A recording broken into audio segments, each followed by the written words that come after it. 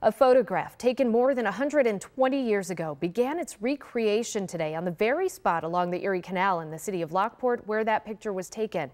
Photojournalist Dooley O'Rourke was on hand as the first of 13 bronze statues took their place back at Lock 67.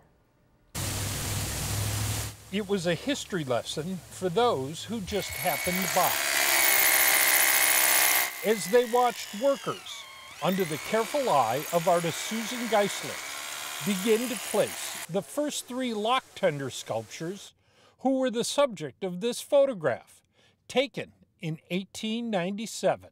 Lock tenders were charged with the responsibility of not only opening and closing the lock gates in order to allow for navigation through the Erie Canal here in Lockport. Tom O'Hara, Martin Noonan, and Michael Hennessy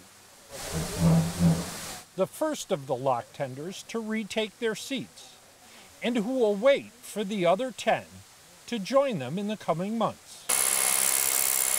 People who are being memorialized with these sculptures were not really distinguished individuals.